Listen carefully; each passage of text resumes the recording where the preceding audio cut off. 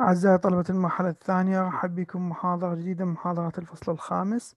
محاضرة اليوم راح نبديها بالعنوان التالي Area and Volume in Polar Coordinates المساحة والحجم بالأبعاد القطبية. عندنا تعريف A simple polar region. راح نعرف منطقة بسيطة على الأبعاد القطبية. A simple polar region in polar coordinate system is a region that enclosed by two rays. هذه ما تكون منطقة محصورة ما بين شعاعين ثيتا يساوي ألفا وثيتا يساوي بيتا and two continuous polar curves ومنحنيين قطبيين مستمرين اللي هما ال R واحد وال R اثنين. Where the equations of the rays and the polar curves satisfy the following conditions حيث أنه المعادلات مالت الشعاعين والمعادلتين مال المنحنيات تحقق الشروط التالية. أولا أنه ألفا زاويتين عندي واحدة أقل من الثانية ألفا أقل يساوي البيتا. أيضا عندي أنه الشرط الثاني على الزوايا اللي هي البيتا ناقص ألفا أقل أو يساوي 2 باي. والمنحنيين هما آه، غير صفر غير سوالب وواحد من عندهم أكبر من الثاني. الآن نأخذ أمثلة على المنحنيات البسيطة بالأبعاد القطبية.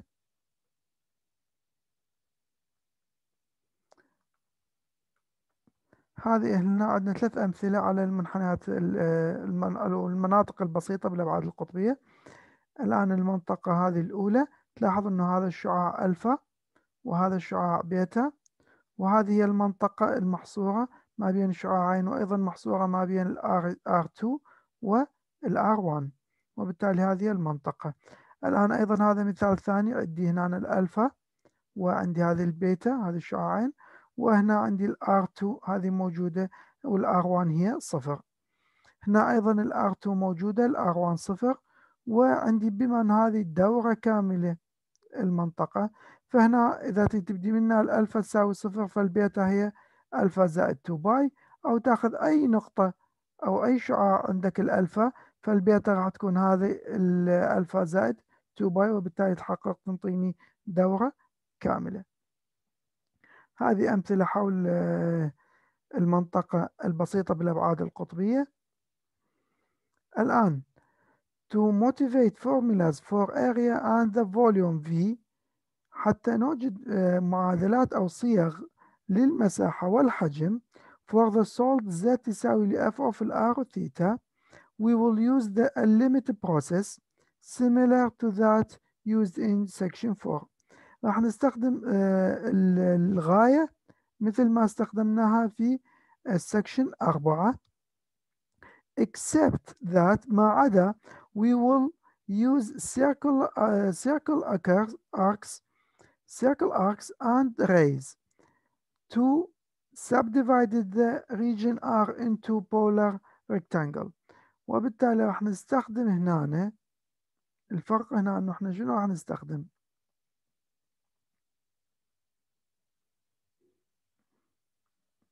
هنا راح نستخدم هذه الأقواس. أولا خلي نبدي من هنا. أنه أنا عندي هذه المنط... هذا الحجم أريد أحسبه. هذا هو هذا الحجم. وهذه معادلة ال Z تساوي لي f of ال r theta اولا راح أخذ القاعدة مالتها. هذه هي القاعدة.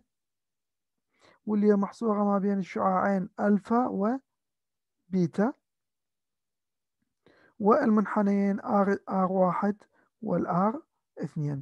هذه راح اخذ أخذها وأسوي لها إسقاط على ال two dimension زين. واضح إنه هذه هي المنطقة. هذه هي ال R زين. الآن هي بال two dimension هذا هو الشعاع الألفا وهذا شعاع البيتا. الآن اللي راح أقسمه شنو؟ هذه هي ال circle arcs اللي هي الأقواس الدائرية. هذه هي الأقواس الدائرية. و ال rays الإشعاعات راح نستخدمها اللي هي بهذا الشكل. وبالتالي الآن تقسمت لي المنطقة إلى اللي ما نسميه بال polar rectangles واللي هي نسميها مستطيلات بالأبعاد القطبية. الآن مثل ما سوينا هناك راح ناخذ ال limit لهذه المستطيلات ونحسب المساحة لمستطيل واحد عفوا بالبداية وبعدين ناخذ ال limit حتى نصغر هذه المستطيلات. وبالتالي المساحة راح تكون هي ال delta A k وهنا أنا أي نقطة هي موجودة باعتبار أنها أبعاد قطبية فراح تكون هي ال r k وال theta k زين؟ ال star لأنه أحدد نقطة واحدة هنا هذه. وبالتالي عندما أخذ limit هنا مثل ما سوينا ال limit هناك بال section آه، أربعة أيضا هحصل على المساحة بالأبعاد القطبية. الآن بعد ما حسبت المساحة بالأبعاد القطبية هذه هي القاعدة حسبتها بالأبعاد القطبية شلون راح أحسب الحجم؟ نفس الصيغة بالضبط أنه راح أضيف لها شنو؟ أخذ مستطيل واحد وأضيف له شنو؟ أضيف له الارتفاع. زين؟ حتى أحسب الحجم لهذا المستطيل فقط راح أضيف له الارتفاع اللي هو معادلته شنو؟ اللي هي ال f of ال r وثيتا الآن الشرط الوحيد اللي أحتاجه حتى أحسب مساحة وأحسب حجم هنا إنه if the function ال f of ال r theta هي دالة مستمرة is continuous and non-negative وغير سالبة on a simple polar region r simple polar region r اللي تونا هسه عرفناها then the area A and the volume V can be expressed as وبالتالي المساحة والحجم ممكن أحسبها بالشكل التالي أو أعبر عنها بالشكل التالي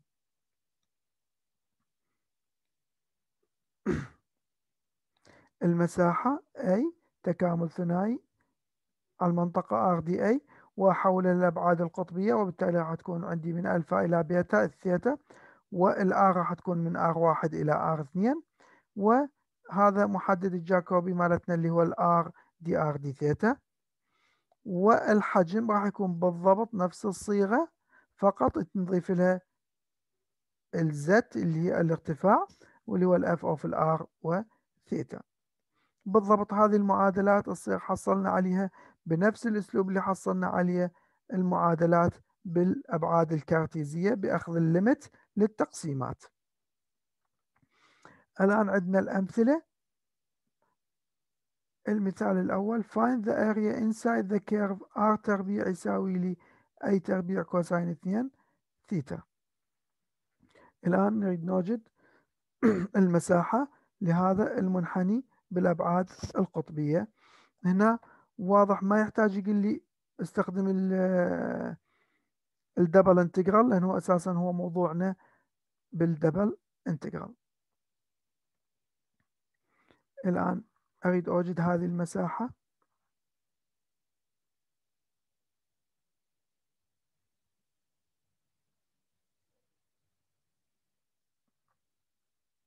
أي اللي هي حتكون عبارة عن تكامل ثنائي لل r حسب القانون dr و d theta.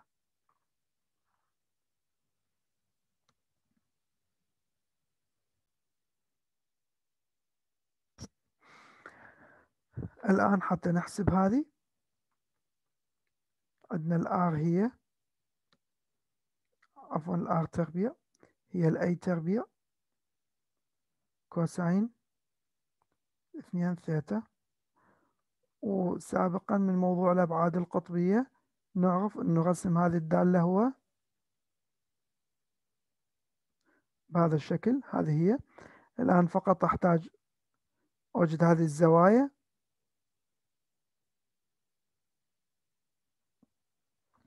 الآن حتى أوجد هذه الزوايا. أنطي ال r قيمتها صفر؟ تساوي لي a تربيع؟ cosine اثنين ثيتا. هنا طبعا حتى هذه الزوايا ما نحتاج نوجدها. صراحة نقدر نكامل هذا المنحني من صفر إلى 2 pi. لكن هنا أنا راح أوجد الزوايا وبالتالي هذا يؤدي لي إلى أنه ال cosine اثنين ثيتا يساوي لي صفر. وبالتالي هذا معناه أنه اثنين ثيتا تساوي لي زائد ناقص pi على اثنين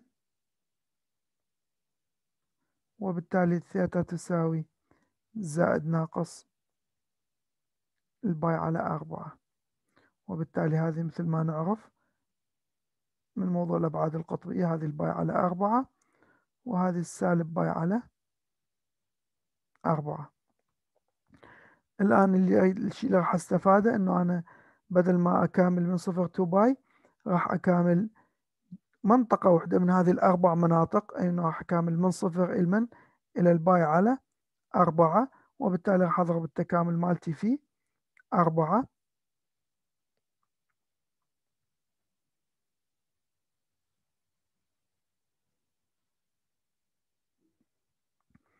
إذا الأي راح تكون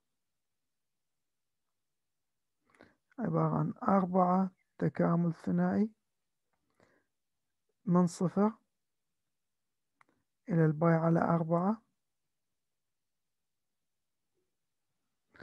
أما الآر فراح تكون تكاملها من صفر إلى المنحني والمنحني هو R اللي هو A تحت الجذر.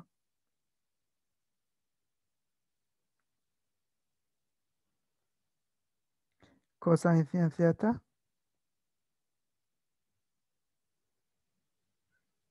لأن أنا التكامل مالتي R تساوي وليست R تربيع تساوي وبالتالي لازم أخذ الجذر إلها. وداخل التكامل هو ال r dr و d theta. الآن هذه تساوي لي أربعة. وبالتالي راح يكون عندنا التكامل من صفر إلى ال pi على أربعة. و R تربيع على اثنين وحدود التكامل من صفر إلى a تحت الجذر cosine اثنين ثيتا و d theta. هذه وتساوي اثنين a تربيع لأنها عوض مكانها R تربيع وبالتالي تطلع خارج التكامل من صفر لل pi على أربعة. ويبقى عندي هنا ال cosine. اثنين ثيتا. d theta. الآن تكامل ال cosine هو sine اثنين ثيتا بشرط أوفر الاثنين والاثنين أيضا موجودة. فراح يبقى عندي هنا a تربيع. ماكو تكامل. a تربيع. sine اثنين ثيتا وحدود التكامل من صفر إلى ال pi على أربعة.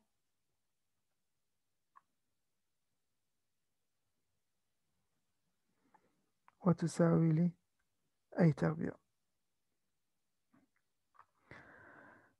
الآن هذا بالنسبة إلى هذا المثال.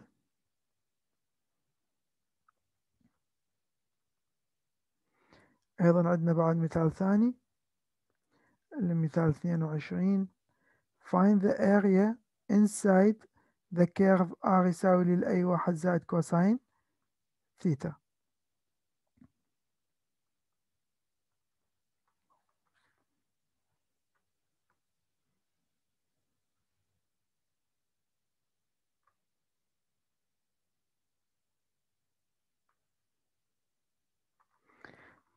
الآن هذا المثال. R تساوي a واحد زائد cosine theta.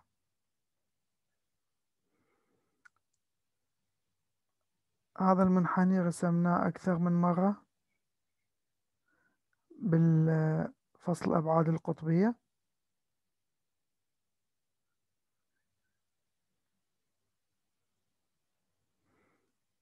وهذه كانت النقطة A.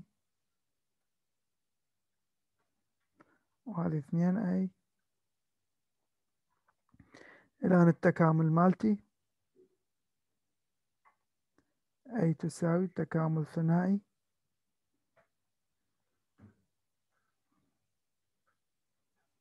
من صفر إلى اثنين باي.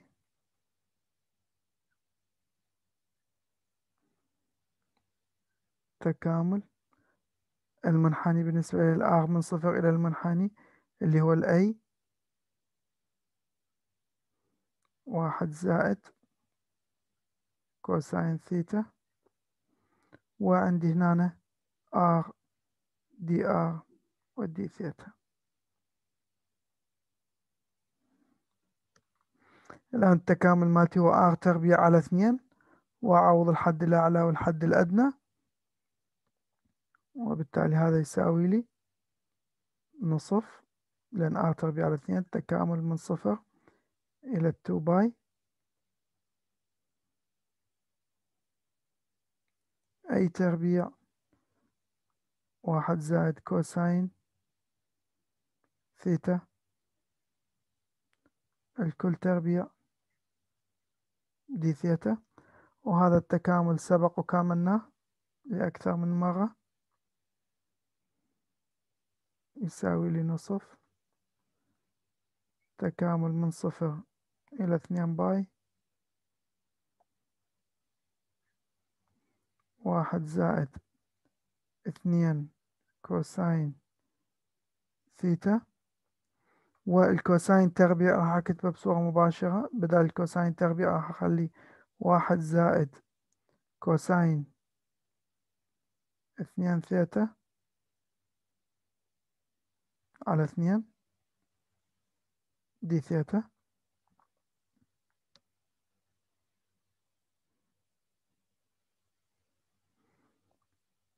ويساوي نصف. الآن التكامل. هنا فقط عندنا الأي تربيع ما تأثر على التكامل.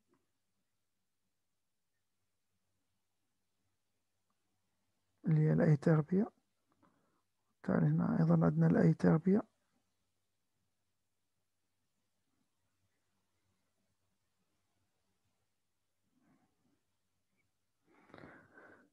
التكامل هنا عندنا هنا عندنا واحد وهنا عندنا نصف فثلاثة على اثنين وبالتالي التكامل هو ثلاثة على اثنين theta.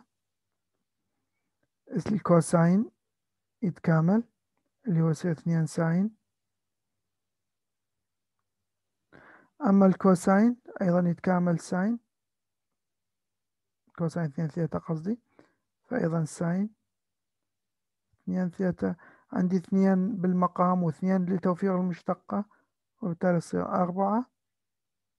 حدود التكامل من صفر إلى ال two pi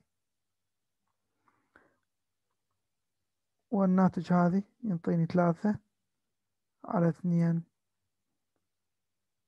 a تربيع pi.